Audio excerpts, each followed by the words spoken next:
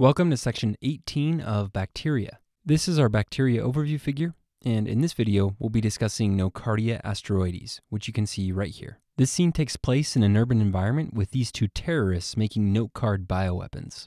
Note card sounds like Nocardia, so it will be our symbol for Nocardia. Notice that we've intentionally made all of the buildings purple. This is to remind you that Nocardia is a gram-positive organism. Technically, it's weakly gram-positive, and it also weakly stains acid fast, which we'll talk about in a second. An agency has fortunately gotten word about these mischievous terrorists, and now a helicopter has come to the scene to put an end to this nonsense. Notice that some tangled up cords have been dropped from the helicopter. The tangled up cords are a symbol for the branching filamentous morphology of Nocardia because the tangled up cords look similar to the organism when viewed under a microscope. This is a gram stain of a branching filamentous organism. Notice that the organism forms long filamentous strands that branch into various directions. You can see that right here.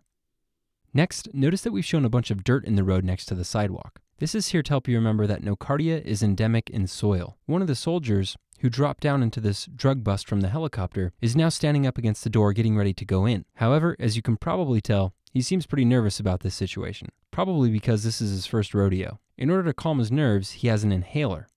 Just like in other videos, this is used to represent that Nocardia is an obligate aerobic organism, so inhaler for obligate aerobe. The frightened soldier also has a comrade in the helicopter who's using a loud microphone to tell the terrorists to come out. Microphone sounds kind of like mycolic, so it will be used to represent that Nocardia has mycolic acid in its cell wall. Now we've added another soldier who's pouring acid onto the door. The acid is very rapidly melting away the door, which will allow the soldiers to break into the terrorist room. We've included this in the scene to help you remember that Nocardia is weakly acid fast, so acid melting the door rapidly for acid fast. Now notice that we've added a car to the scene which is in flames because of a bomb that went off inside the car. Car bomb sounds like carbol fuchsin, so in this image, it will represent carbol fuchsin. Carbofuscin is a red staining reagent that's used as one of the steps in the acid fast stain. So car bomb for carbol fuchsin. Let's look at an image of the acid fast stain so you can see what I'm talking about. This is an acid fast stain of Mycobacterium tuberculosis, not nocardia.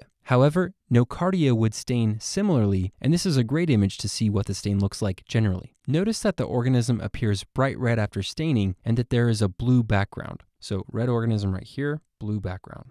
This is because in the acid fast stain, a sample of the organism is stained red with carbol fuchsin.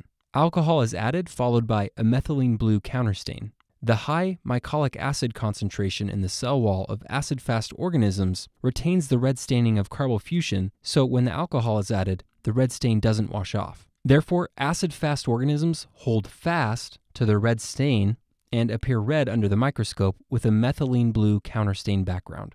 Okay, moving on, notice that we've added a big yellow oil puddle spewing out from the car. This looks kind of like a puddle of urine and is here to help you remember that Nocardia is a urease positive organism. We covered this test in the last two videos, but recall that the pink color in the test tube right here indicates that the organism is urease positive. The cat has mistaken the oil for water and is attempting to drink from the mess. Just like in our other videos, the cat here is to remind you that Nocardia is a catalase positive organism. This is a picture demonstrating the catalase test, which we covered in more detail in section 7, which was our video on listeria. And recall that the bubbles right here indicate that the organism is catalase positive. Unfortunately, one of the soldiers was injured in the car bomb explosion, so some of his comrades are rescuing him on the stretcher. The stretcher is our symbol for immunocompromised because people who need a stretcher obviously aren't 100% healthy. This part of the image is to help you remember that nocardia infections predominantly occur in immunocompromised individuals. To make matters worse,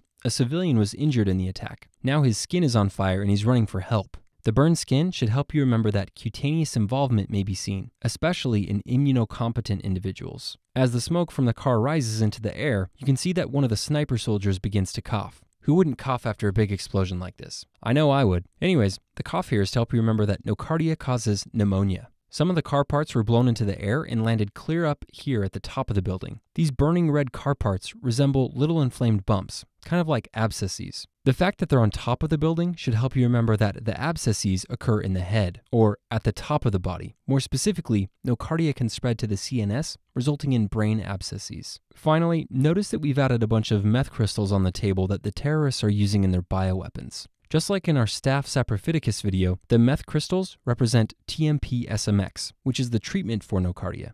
Okay, let's do a question. A 33 year old homeless male is brought to the emergency department due to a severe headache and altered mental status. He has a history of HIV and has not been compliant with his medications. The patient also has had a fever, night sweats, and a productive cough for the past several weeks. Physical examination reveals bilateral papilledema and crackles heard throughout all lung fields. An MRI of the brain reveals an abscess. Which of the following is true regarding the most likely causal organism?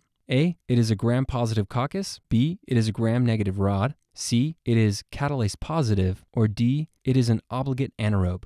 Hopefully, from the question stem, you notice that this patient is immunocompromised because he has a past medical history of HIV and has not been compliant with his medications. This, along with fever, night sweats, and a brain abscess confirmed with MRI, are highly suggestive of nocardia. So the correct answer is C. It is catalase positive. A is describing Staph aureus. This is definitely a more common cause of brain abscesses than nocardia, but the history of fever, night sweats, and pulmonary involvement make this diagnosis less likely. B is also incorrect because this is less likely. There are many gram negative rods, but many of them cause gastrointestinal infections, and again, the history of fever, night sweats, and pulmonary involvement make this diagnosis less likely. D is not true. Nocardia is an obligate aerobe. So again, C is the correct answer. From the image, recall that the cat is drinking from the oil spill, which should help you remember that nocardia is a catalase positive organism.